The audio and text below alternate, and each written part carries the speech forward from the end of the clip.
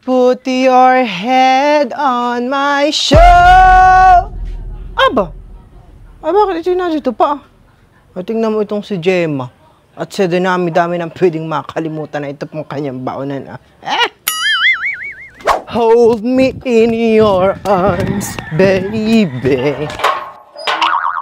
Rita, ikaya atin ng seniors night sa Sabado. Ay, hindi ko pa alam at pinag-iisipan ko pa. Mamaya na kita mag-istoryahan at iaabot ko pa itong pagkain ni Gemma sa kanya. Ah, baka maiwan. Ah, at yan palang anak mo eh.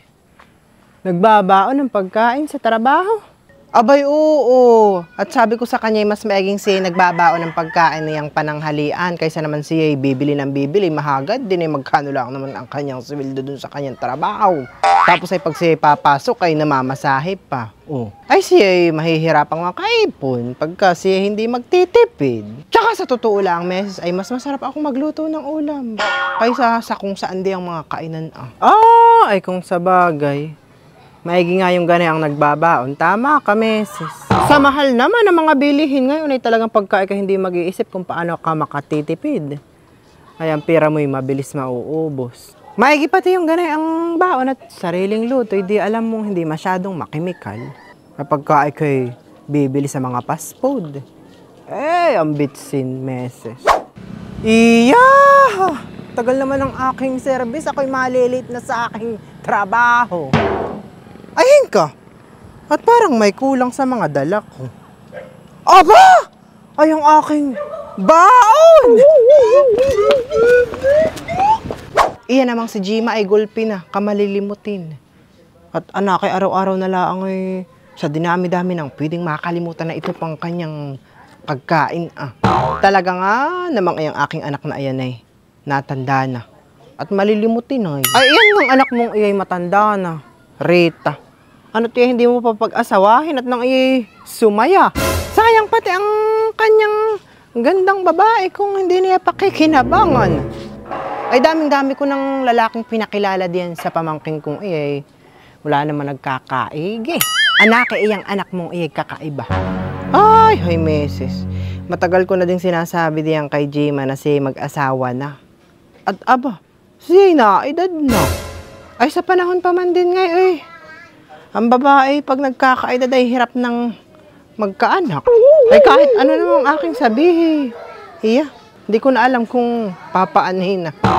Ako pa ang siyang kinagagalitan pagka aking inuulit-ulit na siya mag-asawa na. Baka naman kaya anak Meses eh, yung, yung anak na iya, hindi lalaki ang gusto. Oh.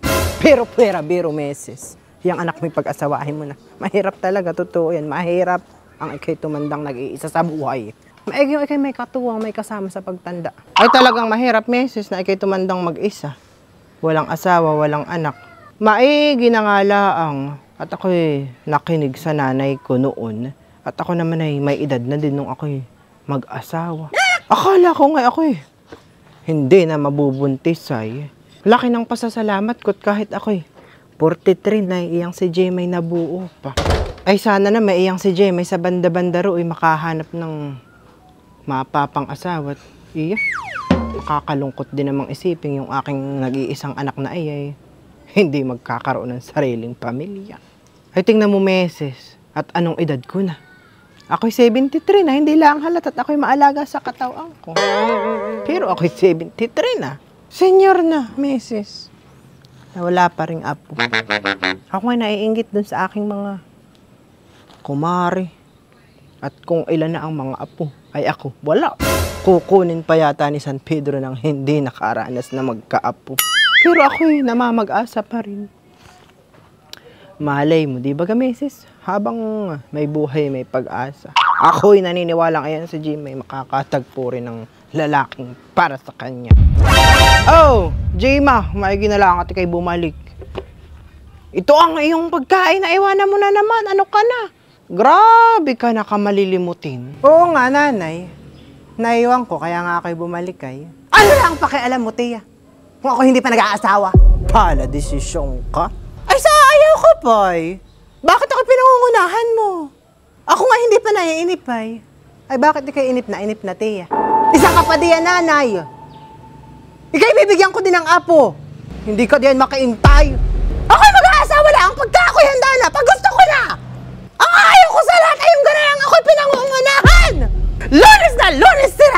araw ko. Hindi ko na pati babaonin sa opisina yung inihanda mong pagkain, nanay. Ang mga pinapabaon mo naman sa akin, mga walang kalasalasa, matabang, walang kasarap-sarap.